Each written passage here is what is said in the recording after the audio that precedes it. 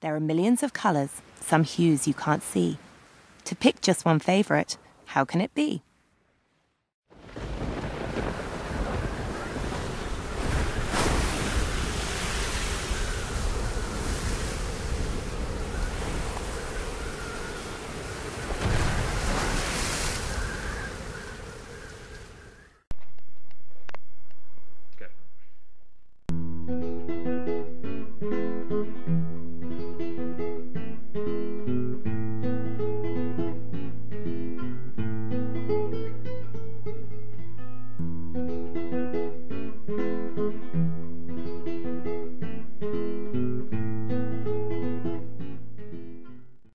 The end.